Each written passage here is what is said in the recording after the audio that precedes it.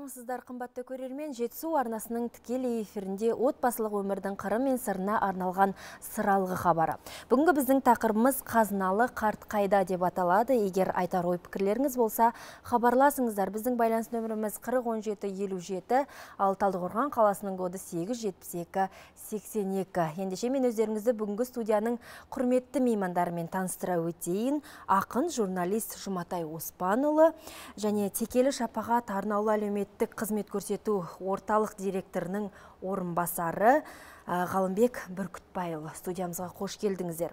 Енді ең алдымен бүгін бірінші қазан халықаралық қарттар күні болғандықтан ақ жаулықты әжелеріміз бен ақ сақалды қарияларымызды мерекемен шын жүректен құттықтаймыз. Енді бүгінгі тақырыбымыз қазыналы қарт қайда деп аталады. Жалпы жұматай аға алғашқы сұрағымды өзіңізден бастағым келіп отыр. Жалпы қазақтың қазыналы қарттары қандай болған? Оны атамыз қазақтан қалған осы бір асыл сөзінің астарынан іздеуге болады. Қариясы бар ел дариясы бар ел дейді.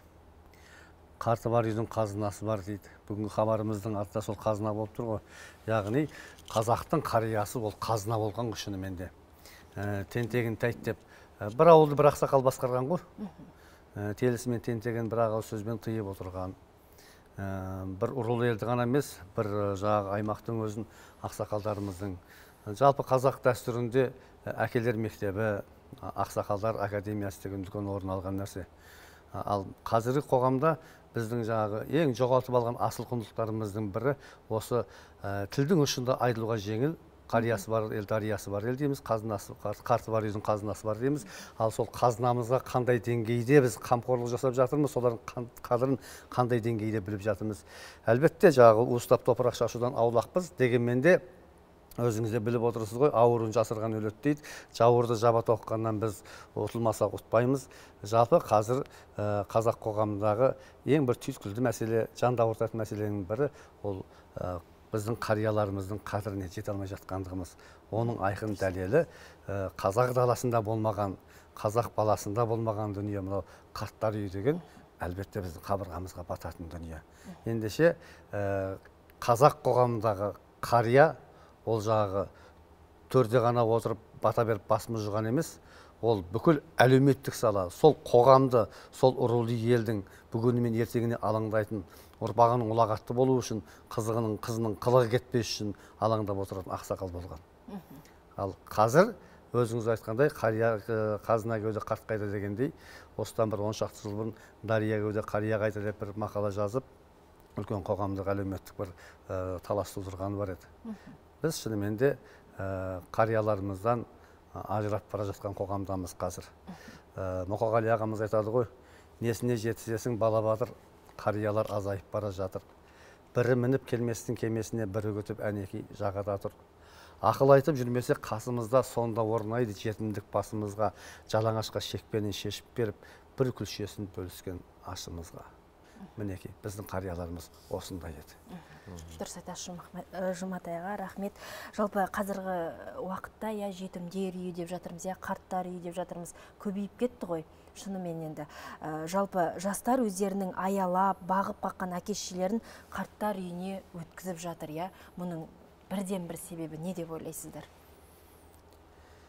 Енді қазіргі таңда қарттар үйі көбейіп жатыр дегенге енді көп келісе бермеймін. Біздің мекемемізді жеке біздің мекемемізді алып қарайтын болсақ ә, жылдан жылға ә, саны азайып бара жатыр қарттардың. Ә, жалпы біздің мекеме 350 орынға арналған мекеме. Ә, былтыр жылмен салыстырғанда биылғы жылы аз. Ә, келушілер жаңадан кеп түсетін ә, қарттар саны да азайып сосын жаңағы ә, туған туыстарына немесе балаларына қайтып, қайтып шығып кеткендер де бар. Сол сол себептен қазіргі таңда саны жылдан жылға азайған дейсіз ғой. азайып барады иә. Жалпы қазір жаңағы шапағат орталығында қанша қарт бар? Бүгінгі таңда 282 ә, қызмет алушы тұрғынға әлеумет арнаулы әлеуметтік қызмет көрсетеміз. Бұл біздің облыс бойынша ғана? Бұл э, біздің облыс облыс бойынша емес біздің осы талдықорған өңірі бойынша ғана. Талдықорған өңірі бойынша. Мына мына жағынан алсақ қабанбай э, ауылынан бері қарай Айдынды Алакөлден иә, бері қарай. иә. Мына жақ жаркент мына жағы сарыөзектен бері қарай дегендей. Ә, жалпы облысымызда біздікі сияқты жалпы үлгідегі э, мекеме екеу біреу қапшағай қаласында орналасқан ол 230 орындық. Ә, және біздің текелі қаламыздағы мекеме ол 350 орындық. Жатыр ғалекеңнің мысалы азайып бара жатыр дегені бұл кішкене көңіл жұбатады иә Көңіл жұбатады, иә. азайып бара жатыр.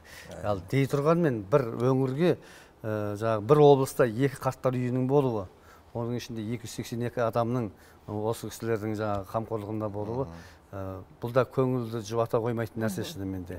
Егер де бірақ енді әр нәрсенің қайыры бар дейді ә, аузыңызға май Бара алып, бара алып мүмкін- кететіндер және әкелмейтіндер саны көбейсе екен деген ниеттеміз. Мүмкін жаңағыдай жабылып дегендей иә бір Иә. жаңағы орталық.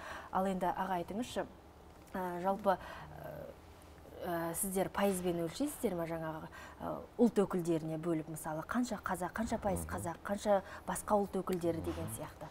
Өлшейміз әрине біз э, оны күнделікті э, адамдар кетсе келіп жатқан жағдайда күнделікті өлшеп отырамыз. Қазіргі жағдайда бізде Э, орус улут өкүлү элүү эки пайызды курайт. Э, казак улут өкүлү отуз төрт пайызды курайт. Калган жанагы он төрт пайыз башка улуттар онун ичинде жанагы баардыгы бар. Десем да болот ол уйгур шешен э, корей улуту баары бар. Бир нече улуттун өзү он төрт пайызды курап отур. Ал енді орус улуту элүү эки пайыз отуз төрт казак пайызы казак улуту деген жүз эки адам. Бұл да ол жанды ауыртатын нәрсе ғой. Енді жаңа бір сөзімді айтып қалдым. Жалпы біздің қазақы болмысымызда ұлттық тәрбиемізде ол әке шешені қарттар үйіне өткізу деген жалпы бабаларымыздың ақыл ойында бір арман санасында болмаған дүние ғой. Айтыңызшы жалпы бұрындары жаңағы қарттар үйі деген болмаған иә? Бұл жалпы бізге қай кезден бастап бұл енді сол кешегі ә, кеңестік жүйенің ә, кезінде келген дүние. Иә иә. Ә, жаңағы кім баласын жаман болып өссін дейді. Ә, біз жаңа кейде баладан кінә, кінә артып жатамыз баладан көріп жатамыз. Ә, бірақ қазақта сөз бар ә, атаңа не істесең алдыңа сол келеді дейді. Ә, мысалы мына бір оқиға есіме түсіп отыр. Ә, бұрынғылардан қалған ғибрат қой. Ә, бір ә, жігіт баласын алыс қыстақтағы бір қыстауға жаңағы ай- айдалаға баласын әкесін апарып тастайды да. Немере, немересі бар енді жаңағы әке бала немере үшеу ғой. Сол бала өзінің әкесін апарып тастайды да қайтып келе жатқанда жолда жаңағы баласы кішкентай баласы сұрайды әке қар- қартайғанда мен де сізді осында әкеліп тастайын ба? деген мазмұнда. Сол кезде осы баланың осы бір ғана сөзі ана әкенің жүрегіне тиді. Осы уақытқа дейін жаңағы әкесін жаңағы әкеге деген қадір қасиетті сезінбеді ме екен? Бала өзінің баласының сөзі әсер еткенде анау қайтадан кері қайтады да әкесіне қайтадан барып сол жерде тізерлеп отырып жылап кешірім сұрап әке қайттық үйге? деген кезде бала әкесі айтқан екен мен сенің қайтып келетініңді біліп едім дейді. Мен сені былай тастап кетпейтініңді кетпейтініңді білгем дейді. Қайдан білдіңіз? деген кезде мен әкеме олай істемеп едім дейді. Сонда қарасаңыз анау ә, бәрібір баласынан үміт етеді ғой. Енді бұл жерде кейде мысалы ә, байқап жатамыз ә, мына ә, бір келіннің кесірі де болып жатады. Кейде келін жақпай осы екі бала бақытты болсын екі бала тыныш болсын әйтеуір өздерің аман болыңдаршы мен сендерге кедергі келтірмей сендерге ауыртпалығын салдырмай сол тыныш қой өзім сияқты кісілер бар ғой сол жақта сырласып жүре- жүремін деп мысалы кете береді мысалы оны қазір мысалы мына ғалекеңнің мекемесіне барып қарттармен сөйлесіңізші мен ойлаймын ол жерде бәрі өз баласын жаңағы балам лақтырып әкеп тастады деп айта қоймайды ау сол балаларым тірі жұмыс істеп жатыр қызметі бар жұмысы бар. Сол қауырт жұмыста жүргенде мен де оларға масыл болмайын деп келдім деген әңгімені айтады. Бірақ адамның көзі алдамайды ғой. Көзде бір мұң тұрады да өйткені енді бір аяғы көрде бір аяғы жерде қазақша айтқанда. Кәрі қойдың жасындай ғана жас қалған кезде бала шағамен қауқылдасып немересі жаңағы ата болса сақалымен ойнап апа болса жаулығымен ойнап базар болып жатқан деген балалы үй қазақ балалы үй базар деп бекер айтпаған ғой. Базар болып жатқанға не жетсін? Дұрыс айтасыз жұматай аға. ә, бізге хабарласқан көрерменіміз бар екен. Саламатсыз ба? Сіз тікелей эфирдесіз. Саламатсыз ба көрермен? Сіз тікелей эфирдесіз?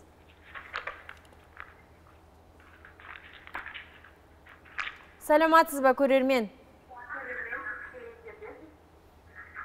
Теледидардың дауысын баспаған сияқты біздің көрерменіміз. Саламатсыз ба көрермен. Теледидардың дауысын баспаған сияқты біздің көрерменіміз. Сөйлесудің ретін білмей жатыр.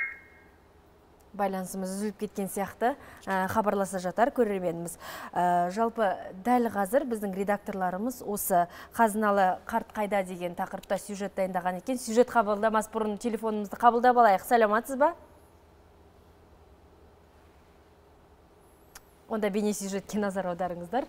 Көрерменіміз білмей жатыр ғой деймін қалай хабарласарын. Қарт десе әркімнің көз алдына. Шаңыраққа құт береке кіргізіп отырған ақ жаулықты әже мен ақ сақалды қария елестері анық. Бұрынырақта жасы қырықтан асса қарттыққа бет бұра бастаған.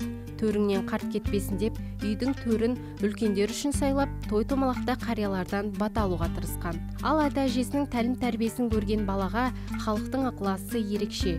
Қазақ көпті көрген қарияның ақылын тыңдаған халық. Олар кез келген мәселені салт дәстүр арқылы шешкен. Және оған ешкім қарсылық білдірмеген. Осыдан ауыл қарияларының қаншалықты қадірлі болғанын байқауға болады. Қарты бар үйдің қазынасы бар дейміз.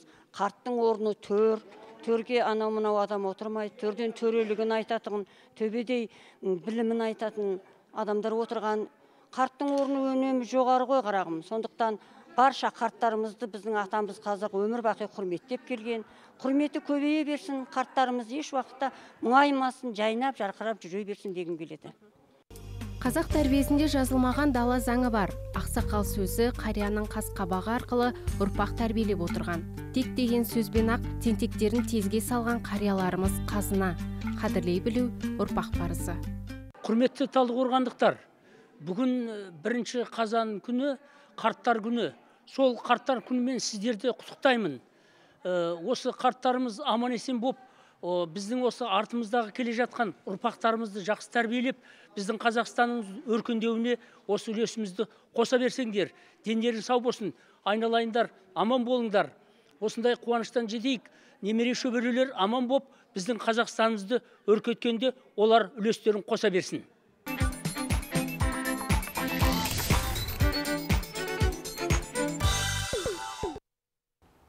Ардақты ағайын хабарымызды одан әрі жалғастырамыз. Бүгінгі біздің тақырыбымыз қазыналы қарт қайда деп аталады. Хабарласыңыздар, ой бөлісіңіздер. Біздің байланыс нөміріміз экранның төменгі жағында жазулы тұр. Ғалымбек ағай енді айтыңызшы, ә, жалпы осы қарттар үйіне келетін ә, қарттардың жаңаға келетін басты себептеріне ә, қандай жағдайлармен алып келеді сіздерге? негізі әр адамның тағдыры әртүрлі ғой бұл жерде көбінесе денсаулықтарына байланысты. Бір айта кететін жайт бар енді біздің көбінесе қынжылатынымыз. Көрші қолаңдары немесе таныстары тіпті жақын туыстарының өзі. Жаңағы кісі әбден ештеңкеге жарамай қалған денсаулығы енді бері қарамай қалған. Әне міне деп тұрған кезінде келеді ғой. келеді. мысалы сондай жағдайлар көп болып жатады. Сол бізді көп энди ойландырат өтө кыйын жагдай. Э, Ондай биздин энди улутубузга жат дүйнө го энди тек ол улутубуздагы гана э, болуп жаткан дүйнөлөр эмес жалпы казыркы орталыктарыңыздын жанагы карттар үйүнүн жалпы жағдайы қандай? Сіздер қандай да бір жаңағы шаралар ұйымдастырасыздар ма? Соны кеңінен ашып тарқатып айтып берсеңіз. біздің біздің мекемеміз ә, әлеуметтік қызметтің сегіз түрі бар соның ә, жеті түрін көрсетеді жаңағы әлеуметтік педагогикалық ғана түрін көрсетпейміз басқа ә, барлық жеті түрін көрсетеміз ә, мейлінше үй жағдайына жақындастырған қызмет көрсетеміз жаңағы қарттарымыздың көңіл күйін көтеру үшін ә, мәдени іс шараларды жиі ұйымдастырамыз. Әрине бұл мына елімізде жалпы дүние жүзін өршіген пандемияға дейін бізде барлық ә, жаңағы мерекелік іс шаралар мерекелерді үзбей жаңағы мерекелік іс шаралар өткізетінбіз. Биылғы жылы енді оның бәріне кішкене тыйым салдық. Ә, бірақ ә, сонда да жеке жеке қызмет көрсетіп отырамыз. Ә, биылғы жылы ұлы отан соғыс жеңісінің жетпіс бес жылдығына арнайы э, бізде қашықтықтан карантин кезінде қашықтықтан үлкен э, қызметкерлер мекемеміздің қызметкерлерінің ұйымдастыруымен үлкен концерттік бағдарлама ұйымдастырдық. Ол жерде мекеме ауласы бізде өте кең. Барлық жағдай жасалған дейсіз ғой ғалымбек аға сөзіңіз иә. аузыңызда. бізге хабарласқан көрерменіміз бар екен тыңдап алсақ. Саламатсыз ба? Сіз тікелей эфирдесіз. Бүгін біздің көрермендеріміз бізге хабарласа алмай жатқан сияқты үзіліп кетті деп жатыр. Ә, байланысқа шығып қалар. Ғалымбек аға жалғастыра беріңіз сөзіңізді. Сол мына карантиндік режимді сақтай отырып бүткіл санитарлық э, талаптарды э, қатаң сақтай отырып біз э, жаңа концерттік бағдарлама ауқымды концерттік бағдарлама ұйымдастырып ұйымдастырдық ол жерде біздің қарттарымыз өздерінің бөлмелерінің балкондарынан тамашалады. Тыл ардагерлерімізді жаңағы қашықтықтарын сақтай отырып жаңағы мекеме ауласына отырғызып сондай бір күшті э, мерекелік іс шара өткіздік.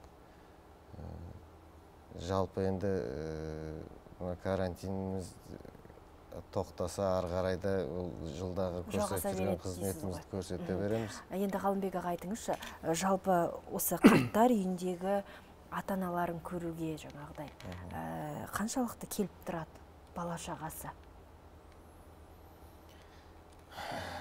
бұл енді карантиндік жаңағы төтенше жағдай жарияланғаннан бері карантин қазір әлі күнге дейін бізде карантиндік режим сақталуда.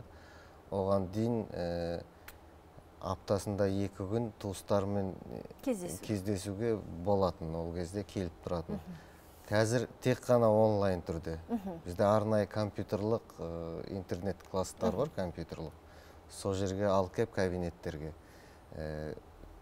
жаңағы онлайн түрде туыстармен кездестіреміз. Ал ә, жаңағы карантин болмай тұрғанда ше? Карантин болмай тұрған кезде емін еркін аптасында екі күн э, туыстары кез келген уақытта сол келеді. Өздері мысалы үш айға дейін біз жылында э, демалысқа иә? жіберетінбіз иә. Қазір біз кейде естіп жатамыз ғой. Осы ә, балалары сондай бір керемет керемет ә, көлік машинамен қымбат қымбат машинамен ә, зейнетақысын алуға келеді Келеді деген деп, иә, осы бұл- қаншалықты рас осы? Енді мен оны рас деп айта алмаймын. Ішінде Әйтеуір естіп жатамыз. жүрміз ғой енді ол ел ауыз елу дейді. Әртүрлі асыра сілтеулер де болып жатады иә. Енді жоқ деп те айта алмаймын. Бар дейсіз ғой иә бар ондайлар да бар. Өздері жаңағы қарттарымыздың өздері мүмкін өздері шақырып алатын Жинайды. шығар Жинайды, иә. Жинайды. Енді бізде барлық жағдай жасалған ғой. Тамағы тегін жатар орын тегін отын су ешқандай бір шығын шығып жатқан жоқ.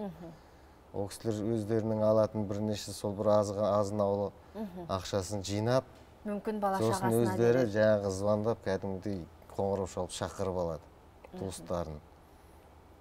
Сосын соны береді енді ақшаларын енді сонда бұл әңгіме осындайдан шығып отырған шығар. Мүмкін Ә, жұматай аға айтыңызшы жаңа бір сөзіңізде айтып қалдыңыз иә. Келіннің де кесірі тиіп жатады деп. Ә, енді бұл да бар шығар бір шетінен жаңағыдай ә, бұл жерде ер азамат жаңағы өзінің әйелін дұрыс мысалы басқара алмағандықтан ба? Жоқ әлде мүмкін қарияның өзінен бір қандай да бір жаңағыдай қателіктер кетіп жататын шығар? Осы жағын кеңірек айтсаңыз. Жаңа сөзіміздің басында айтқандай ә, атаңа не істесең алдыңа сол келеді дейді ғой. Мүмкін қария бала кезінде әкесіне дұрыс құрмет көрсете алмай қалған шығар. Өйткені ә, құрмет көрсетпесең құрметтелмейсің дейді. Шынымен де ақиқатында. Бұл бір. Екіншіден ә, мен ойлаймын көп жағдайда сол ә, қарттар үйіне кезінде қызмет істеген кісілер барады көп жағдайда мысалы. Өйткені олар қызмет ат үстінде жүрді. Отбасындағы жылылық отбасындағы жаңағы баламен қайнап жатқан бақытты сезіне алмады. Қартайғанда сол салқындық немен содан кейін жаңағы ә, бөлек тұрғысы келіп өз еркімен кетіп жатқан шығар. А бірақ дегенмен де осы жерде ә, ол ә, бұл жерде баланың кінәсі деп ә, көп жағдайда балаға жауап жатамыз ғой. Дегенмен де баланың кінәсі кемшілігі болуы бек мүмкін. Өйткені ол ә, қазақта сөз бар ғой әке шешең жынды болса байлап бақ дейді. Иә, байлап бақ дейді. Э, жалпы э, біздің жаратушы иеміз құдай тағалаға э, сыйыну- сыйынуға лайық бір ғана алла тағала болса құлшылық жасауға лайық бір ғана алла тағала болса адамның ішінде ең бірінші сыйлауға лайық ол әке шеше құрметтеуге лайық әке шеше қасиетті құранда аллах тағала ә, әкең мен шешең екеуінің біреуісі немесе екеуі қасыңда қартаятын болса оларға қарап түф деп кейістік білдірме дейді түф деп сөйлеме дейді анау қарттар үйін апарып тастау деген былай тұрсын жаңағы бетіне қарап қабағын шытып қатты сөйлеме дейді. Керісінше оларға я алла тағала кішкентай кезімде мені мейіріміне бөліп мәпелеп бағып қаққандай қартайған әке шешеме мейірім құшағыңды аш деп дұға жаса дейді. Міне, алла тағала бізге әке шешені қалай үйрету қадірлеуді үйретіп отыр. Және ә, пайғамбарымыз хадисін оқып отырсаңыз бір сахаба айтады. Иә ә, жаңағы расулалла әке шешемізді құрметтеуге ең, құрметтеуге лайықты адам кім деген кезде ол әке шешең дейді әке шешеміз құрметтеуге лайықты болмаса да құрметтеуге құрметтейміз ба? дейді. Осы жерден жаңа сөз шығады. Құрметтеуге лайықсыз деген не нәрсе? Шынымен де өзінің отбасында әкелік мейірімін бере алмай балаларының бір жағына шығыса алмай жағдайын жасай алмай ә, жаңағы ә, тапқан таянғанның өзін жаңағы ішкілікке салынып отбасын ұмытқан әкені қалай қадірлейсің мысалы? Соған мысалы баласы өкпелі болуы мүмкін иә? Соны құрметтеуге лайықсыз болса да құрметтеуге міндеттіміз ба дегенде пайғамбарымыз не деді? Құрметтеуге лайықсыз болса да құрметтеуге міндеттісіңдер деді. Яғни қазақтың жаңағы сөзі шығады әке шешең жынды болса байлап бақ дейді. Байлап бақ дегенде жаңағы жынды екен деп креслоға отырғызып таңып қою емес қандай мінезі болса да көн деген Көну сөз. көну керек. Сонда Яғни жаңағы сонда қарттар сонда біз жаңағы қарияның алғысын аламыз қарияның батасын- аламыз. Тағы да хадисте келеді. Мына дүниеде қариялар болмағанда дейді. Алла тағала сендердің бастарыңа түрлі жамандықты жаудыратын еді дейді. Ендеше міне қарияның орны қарияның орны деген ә, шариғатымызда қандай белгілен- белгіленіп тұрса біздің қазақ қоғамында да сондай қадірлі. Қазақ қоғамында. Да. ендеше келін дұрыс болмаса ә, ол баланың кінәсі. Жар таңдағанда қателеспеу керек. Иә тағдырына жазылды маңдайына бұйырды дей тұрғанмен де екеуі бір әу баста бір бірін сүйіп қосылды ғой. Сол махаббат сол махаббатты ә, с- ана әке шеше кішкентай кезінде қалай ә, ана ананың сүті арқылы әкенің жаңағы мейірімі арқылы бойына сіңді соны қайтару керек қой енді.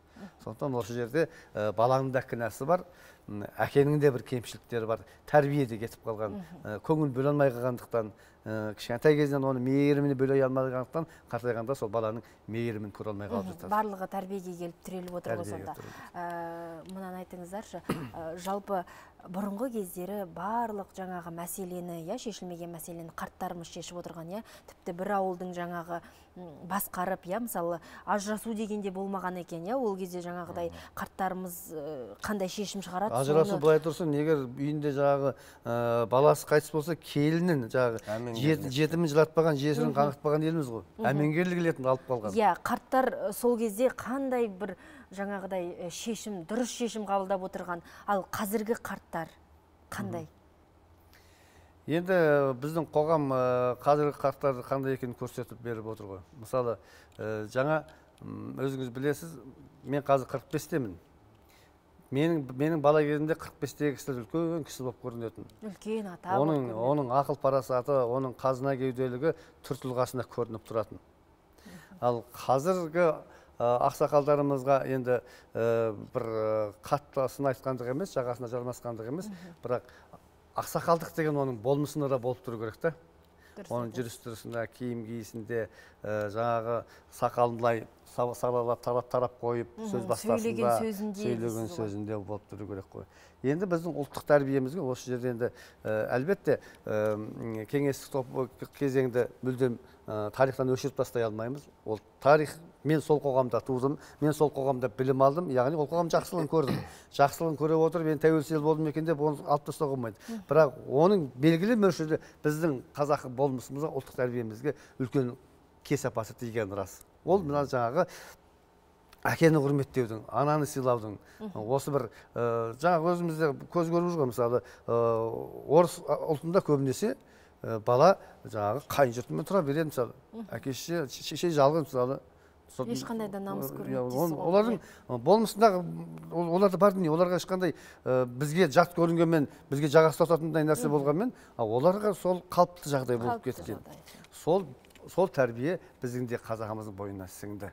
Әке шешеден кішкене алыстау әке шешеден алыс шалғайлау жүру деген нәрсе сөйтіп біз өзіміздің ұлттық құндылығымызға ұлттық тәрбиемізге ә, сызат түсіріп алдық. Енді ол сызат түсті дегенше сына берді десеңші дейді. Сол сындырып алып алдық. Енді ол сынған нәрсені құрау қиын ғой бәрібір із қалады да. Дұрыс айтасыз Жұм- жұматай аға қым- қымбатты көрермен дәл қазір бізде жарнама. Бізбен бірге болыңыздар.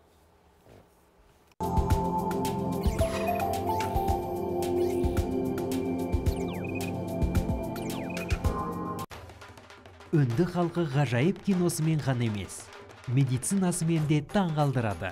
Назарларыңызға гималай тауынан жиналған 34 емдік шөп пен минералдан жасалған неопраш өнімін ұсынамыз. Бұл 5000 жылдық тарихы бар аюрведа ілімінің ең үздік туындысы. Үнді халқы оның рецептін 2000 жыл бойы сәтті пайдаланып келеді. Неопраш ағзаны сауықтырады және жасартады. Иммундық жүйе мен зат айналымын реттейді. Көңіл күй мен күш қуатты арттырады. Инфаркт пен инсульттің қаупін төмендетеді. Неопраш өніміне дәл қазір тапсырыс беріңіз. 8 727 224 2240 қазақстан бойынша жеткізу тегін. Өнім халал сертификатына ие. Қоңырау шалыңыз. 8 727 224 2240 неопраш жастықтың құпиясын аш.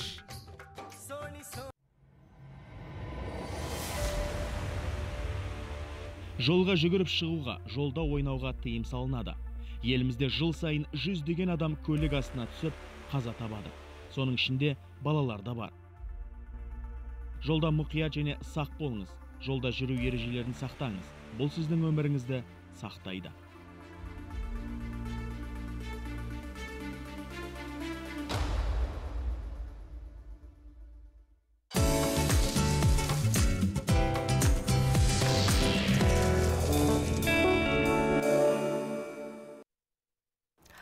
Қымбатты көрермен біз хабарымызды одан әрі жалғастырамыз. Бізге хабарласыңыздар ой бөлісіңіздер. Бүгінгі тақырыбымыз қазыналы қарттар қайда деп аталады. Біздің байланыс нөміріміз экранғы экранның төменгі жағында жазулы тұр ә, ғалымбек аға айтыңызшы жалпы ә, өз еркімен келушілер бар ма?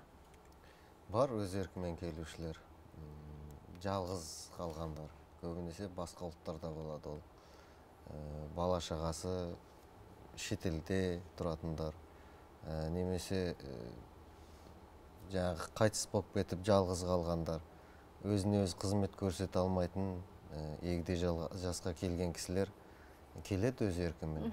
Көп пе бұндайлар Ә, бар. Бір жартысын сондай адамдар құрайды. Келетін келіп жатқан кісілердің. Енді жартысын көбінесе мына бейімдеу орталықтарынан келеді ғой.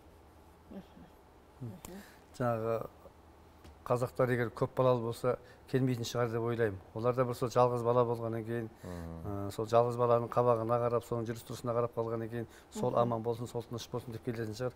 Әйтпесе көп баланың ішінде бәрі ақымақ болуы мүмкін емес қой. Негізі бізге қабылданғанда ә, ана жерінде арыз болады ол арызда өтініште.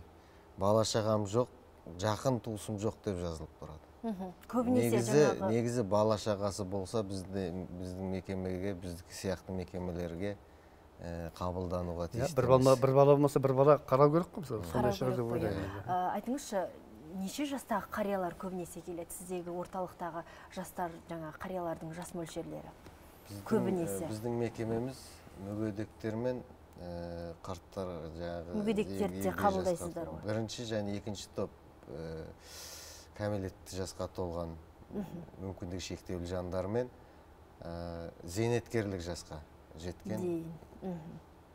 Сондай кісілерді қабылдайсыздар. ә, азаматтар қабылданады. Қымбатты көрермен дәл қазір біздің редакторларымыз бүгінгі тақырыбымызға байланысты тағы бір сюжет дайындаған екен. Көріп алсақ экранға назар аударыңыздар. Жабығып жүріп жалынып жүріп алладан сұрап өзіңді кешірдім бастан мазасы қашқан түндер мен жайсыз сезімді. Көтерген сәтте тұтанып шырақ үмітпен атты ақ таңым. Жүрек тұсымда білмеппін бірақ тас бауыр бала жатқанын. Қазақ үлкенге құрмет кішіге ізет көрсеткен халық. Тарихқа үңілер болсақ қазақтың дала заңында түрме қоғамында жетімдер мен қарттар үйі деген болмаған. Өзгерген заман ба адам ба белгісіз. Қазіргі қоғамда аталған мекемелердің қатары өсті. Қарты бар үйдің құты бар дейді қазақ. Қартын қадірлеген қаймана қазақтың бүгінгі ахуалы қандай? Тарихтың тірі куәгерлерінің қатары сиреп бара жатқан жоқ па? Дегенмен керуен дүние қарттыққа лезде жеткізетінін ұмытпаған жөн.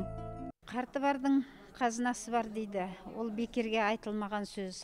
Қарт қазына болуға тырысу керек. Бала шағаға үлгі бола беру керек. Қай жерде жүрсең дағы сені өнеге тәрбие алатындай өзіңді көрсетіп жүрсең сондағы анық қазына деген осы болады деп ойлаймын мен өзім. Біздің ең бірінші тілегіміз қазына болсақ дағы өзімізді қазына деп есептемейміз. Біз артымыздағы мұра мұрагерлеріміз біздің бала шағамыз біздің өнеге берген тәрбиелерімізді ала білсе сонда ғана біз қазына деп өзімізді сезінеміз.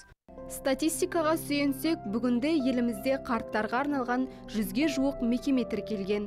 Ал оларды пана етіп отырған адамдар саны 35 мыңнан асып түседі. Бұл дегеніміз перзент атаулы өзінің ата апасы әке шешесі алдындағы борышына кір келтіргені ме? Әлде безбүйректікке баруы жаһандану кезінде тәрбие тұтқасының әлсіреуінен бе? Немесе біздің қазыналы қарттарымыздың азайғаны ма?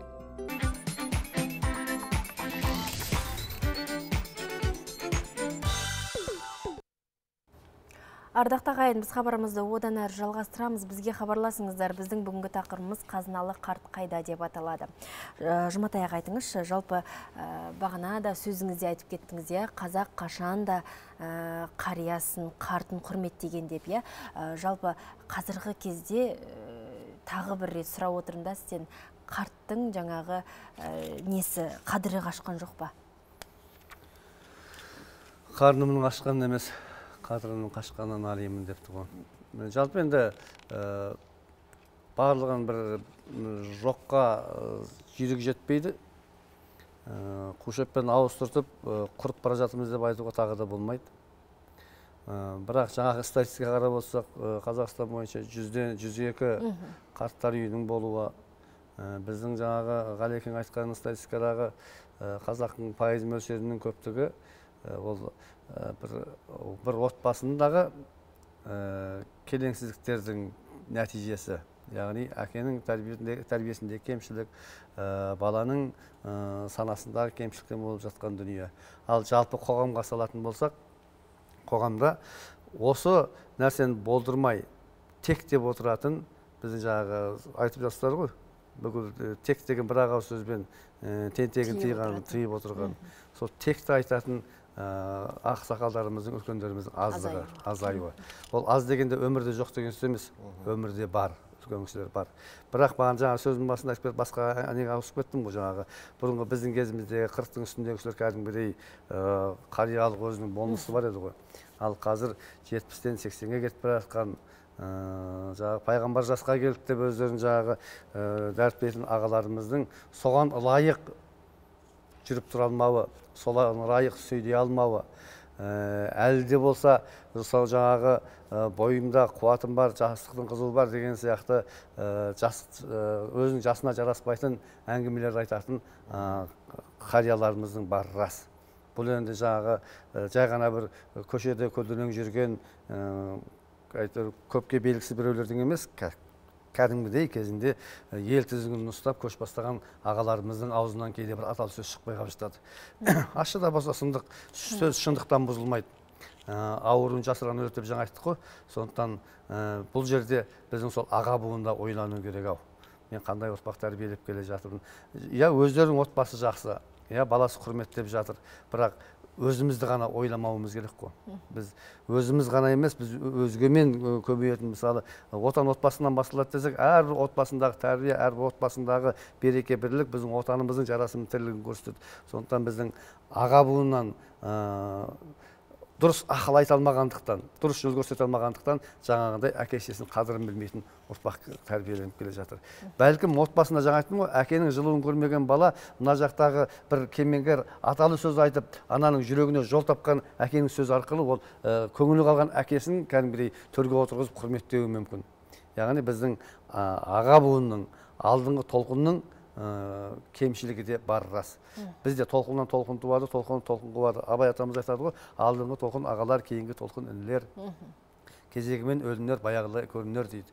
Біз де сол аға буынның өкшесін басып келе жатырмыз. Мысалы мен қырықтың бесіндемін мен жастың жалындап отырмын деп ә, жаңағы ә, желпіл желпілдеген жастардың ортасында әл әулайым таусылса хәл әулайым тағы бар деп жүрсем менен кім, кім үлгі алады мен кімге үлгі көрсетемін? Ертең мен кімге ақыл айтқандай боламын? Ә, қазір өзім мысалы ұрпақ өсіріп келе жатырмын мысалы. Сол балам мен жасты жастардың ортасында желкілдеп отырсам сонда менің бала көрсеткен өнегем тәрбием қайда? Сондықтан қоғам болып бұл нәрсені жаңағы жекелеген адамдардан көрмей иә айтып отырмын жоқ қоғам жекелеген ақсақалдардың да кемшілігі бар деп. Бірақ оларға да жаба салуға болмайды. Бұл қоғам болып кәдімгідей жаңағы әкелер мектебі біздің қоғамда әкелер мектебінің әлсірегені қатты белең алады. Сол ертең әке ертең ата болғанда жаңағындай күй кешіп жатады. Өйткені қазақта айтып отырмыз бір ақ ауыз сөзбен шешелеріміз қалай тәрбиеледі? Мысалы бізді әкең келе жатыр. Әкең айтамын деген екі ақ ауыз сөз бізді тәрбиеледі қазір ондай жоқ. Иә. Мысалы енді мысалы мен сол тәрбиені көріп өскендіктен мысалы бұл тәрбие менің үйімде бар. Мысалы менің балаларымның анасы әкеңнен сұра. Әкең айтсын. Әкең біледі. Әкең келсін деген нәрсені үнемі айтып отырады. Бұл нені білдіреді? Бұл отбасындағы әкенің рөлін көрсетеді. Егер еркектің өзі мысалы отағасы бола тұра бола тұра отырса опақ тұрса сопақ болып ә, әйелінің сөзінен шыға алмай ә, өзінің ойын айта алмай отырса ол жерде ә, әйел билік айтқан отбасында әкені сыйлайтын ұрпақ өспейді бұл Дұрыс болса шындық біз әзір гендерлік саясат деп әйелдерді еркектермен теңестіріп отырмыз ғой. Енді қоғам ғасыр дәуір соны талап етіп жатыр дей- дейтін шығармыз. Бірақ дей тұрғанмен де дей тұрғанмен де әйел еркектен бір сәт төмен екенін негізі білу керек. Өйткені ол біздің қабырғамыздан төмендеу қабырғамыздан жаратылғандықтан дұрыс айтасыз жұматай аға ғалымбек аға айтыңызшы жалпы осы қарттар орталыққа келгенде жаңағы бала шағасымен иә бір туысымен келген кезде сіздер арнайы бір жаңағыдай ә, сөйлесесіздер ма ол кісілермен? Жоқ әлде жаңағыдай сөйлесе келе алып кеткен жағдайлар болып жата ма сіздерде? Бізге келген кезде көбінесе жаңағы басқарманың жолдамасымен келеді. Ол жолдамасы болғаннан біз қабылдаймыз бірақ э, әкеліп жатқан кісілер айтады алыс туысым э, немесе танысым көршім деп солай алып шындықты келеді. айтпайды дейсіз ғой. Э, иә бірақ соңына келе кейбіреу сол балалар болып шығып жатады. Ешкімім жоқ деп келеді баласы жаңағыдай пайда болып сөйлесу бола ма иә ол біз сөйлесе келе қайтадан алып кетіп жатады. Кейбіреулер барғысы келмейді иә. Кейбір кісілер болады барғысы келмейді. Жаңағы бағанағы сіз айтқандай бала шағасына масыл болғысы келмейді. Масыл болғысы келмейді әлде сол үйде барып отыратын ауырға көңіл күй А, болмағандықтан. көңіл күй болмағандықтан. мына жердегі үлкендер айтады біреумен шүйіркелесе Иә, өзінің теңдестері. құрдастары. Бір уақыт отырып әңгіме дүкен құрса да жаңағы бұл енді мен сылтау деп ойлаймын бірақ сылтау сияқты иә мен жаңағы өзімнің қа- қатарластарымның қасына барайын үйде ешкім жоқ деген ол сылтау сияқты ол қазақ бекер айтпаған «Өл ба- өз балаң көргенше немерең өлгенше дейді көргенше баласы сол көргенін істеп далада қызмет істей берсін жұматай аға Немерең демек бар- сонда немерең бар емес пе жаңағы бір үйде кісі жақтырмай тұрғаны ғой сонда иә демек солай болып тұр ғой. Иә сондай бір сол отбасында бір көңіліне жаңағы жайлылық болмай отыр ғой. Жаңағы қайбір қайбір жетіскеннен кетеді дейсіз шынымен де. Кім отбасынан кетеді мысалы шын. Ә, жұматай аға енді айтыңызшы бізді қаншама көрерменіміз көріп отыр иә? Жалпы жаңағыдай қарттар айтып жатады ғой мен сендерге масыл болмайын иә? Мені қарттар үйіне апарыңдар деген кезде балалардың әрекеті қандай болу керек? Қандай жағдай болмасын иә?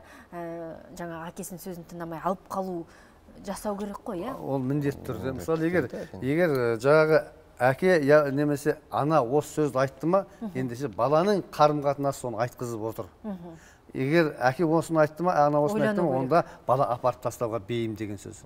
Мысалы енді ә, мақтанғаным емес мен өзім үйдің кенжесімін әкем 90 жаста шешем 80 жаста өмірден өтті. Әкеме 10 жыл болып қалды шешеме 6 жыл болып қалды. Мысалы біз осы талдықорғанда бір бөлмелі үйде тұрдық бәріміз. Мен үйдің кенжесі болғаннан кейін қазақта қара шаңырақ деген ұғым бар ғой. Кенжесі болғаннан кейін әке шешемді мен қайда жүрсем сонда жүріңіздер деп анау өзінің қара шаңырағынан мен мысалы өмір бойы қой баққан кісілер ғой. Кеңді кең далада өмір сүрген кісілерді тар қабыр- қабырғаға әкеліп қамадым. Сонда шешем марқұм айтатын мына бір мырза қамау ғой дейді. О не десең аяқ қолың бос бірақ ешқайда бара алмайсың басында үйрене алмады кейін үйренді. Кейін үйренді да жаңағы жылы су бәрі үйде болғаннан кейін е алланың бұл да бір маған бір берген жақсылығы ғой өмір бойы ақ қойдың соңында жүріп ақ қырау қыста жаңызда жаңбырда жүріп мынау қартайғанда осы жылы жерде отырсын деп берген ғой деп мысалы иә мысалы яғни әке шешем сол немерелерімен солармен көп Бақытты соның бәрін бақытты өмір сүрді. Ең соңында аға. батасын беріп батасын алдық аха сөзіңіз аузыңызда. Бізге хабарласқан көрерменіміз бар екен. Тыңдап алсақ саламатсыз ба? Сіз тікелей эфирдесіз.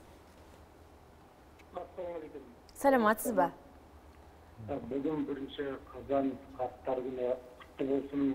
Қазақта жақсы сөз бар ғой қариялар қазынамыз енді осы қазіргі бүгін тақырыпты көріп отырып шыны керек осы кезде қазіргі заманда мына қарт деген сөздің өзі қадірін жоғалтып алмадық па деп ойлаймын өйткені көптеген үлкен ә, жастар өздері өсіп келе жатқан кезде қарттар үйіне өткізіп жіберіп жатады апарып тастап жатады соның барлығы шыны керек бір жағынан неге сондай болып жатыр деген ойды ойлаймын осы тұста енді сол қарт деген сөздің қадірін жоғалтып алдық па деп ойлаймын біз бауыржан момышұлының өзінде бір айтқан сөзі бар еді мен мына өсіп келе жатқан ұрпақтардың ішіндегі ең бір қорқатыным бесікке түскен сәбиге әулиеата айтатын шегіміз жоқ одан кейін жастарға айтатын ертегі айтып беретін нәрселеріміз жоқ.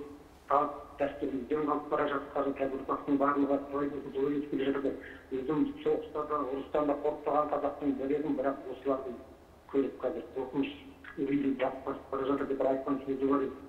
Осы тұста мен сұрағым келіп отыр қонақтардан жалпы қарт деген сөздің қасиетін жоғалтып алдық па қазір қазаққа не не болды сондай сұрақ қойғым келіп отыр еді рахмет көрермен хабарласқаныңызға. бағанадан бері айтып жатқан рас қарт деген сөздің қадірінің кеткенін кейде бір тойға барғанда кейде бір асқа барғанда байқап қалып жатамыз. Анау үлкені ғой деп бата сұрап жатады ғой. Сонда қарт деген қария деген біздің аталарымыз қандай болған? Біз жалпы қазақ өзі сөз қадірін өз қадірін биік қойған. Жағы- мақтанамыз ғой кеудемізге келіп мақтағанда керемет біз. Бір ауыз сөзбен жаудың бетін қайтарғанбыз бір ауыз сөзбен даудың түйінін шешкенбіз деп айтамыз иә яғни бұл бабаларымыз қоғамында болды сөздің қадір қасиеті болды. Яғни аузы дуалы сөзі уәлі айтқаны келді айдағанда жүргізді мысалы. Ал қазіргі бабаларымыз қарттықтың қадірінің кетуінің бірден бір себебі жаңағы бата беретін біздің ақсақалдарымыз азайғандығы қариямыздың. Қарап отырып мысалы ә, кейде шынымен де ішімізде бір қызыл пайда болады. Солардың баласындай болып отырып мен ана жерде мен бата бергім келіп кетеді. Өйткені ол бата деген не? Бата деген дұға тілек. Ал бата деген ол сөздің қас, қас қаймағы сөздің қасиеті. Өйткені әрбір батаға жақсы сөзге мына періштелер әумин әумин деп тұрады. Ал енді ана жерде екі сөздің басын құрай алмай ал енді не дейміз деп бастап тұрсаң шынымен де шынымен Қандай не бата дейсің енді, қандай бата? тосты айтып тұрғандай дейсің. батаның өзін жаңағы тілекке тосқа айналдырып жібереміз мысалы. Сөйтіп ең соңында қайта әйтеуір бір бірдеме аяқтап абыржып жататындар болады. Енді дұрыс айт- айтасыз. қарасаңыз олар да былай қарасаңыз бір жалтағы келбеттегі кісілер. Бір төрт жол асың асың асыңа береке берсін басыңа қырғауылдай жорғалап қыдыр келсін қасыңа жамандыққа жасыма жақсылыққа тасыма үйіңнен қызыр кетпесін бала шағаң көктесін әумин десесің алты жол жұматай аға біздің хабарымыздың да аяқталуына бірер минуттар қалыпты қысқа да нұсқа қорытындыласақ өздеріңізден бір екі ауыз сөз енді қорытындылай келсек жалпы осындай мекемелердің азаю үшін не істеуіміз керек қазіргі таңнан бастап өскелең ұрпаққа ұлттық құндылығымызды ұлттық салт дәстүр әдет ғұрпымызды санасына сіңіріп өсіруіміз керек. Сондай жағдайда жа- бұндай қарттар әр адам өзінен бастау иә, керек дейсіз ғой. азаяды деп қалай десек те бүгін мереке? Қариялар сарқылмас қазыналар тарихымыздың өшірмей жазып алар қолдан келсе қарттарды ардақтайық асылдың сынығы ғой қазір олар. Қариялар ә, өркемеңгер тағдырдың талайсынын көрген ерлер қилы заман басынан өткөрсө де жүрегінің жалыны сөн- сөнбегендер шежіреден сырт шертіп жатқан ұдай кеудесі асыл қазына қарттарым-ай. Көз алдымда қарайып жүре берсін қарттарыма ғұмыр бер патша құдай деп. Қарттарға ғұмыр сұрай қалды өте керемет. Бүгін келіп осындай әдемі мазмұнды әңгіме құрғандарыңызға көптен көп алғыс айтамыз. Қымбатты көрермен Жұм- жұматай ағаның осындай әдемі өлеңімен хабарымды аяқтаймын. Ертеңге дейін сау болыңыздар.